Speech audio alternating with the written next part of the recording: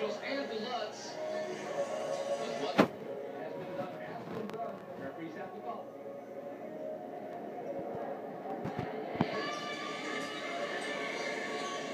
have the ball.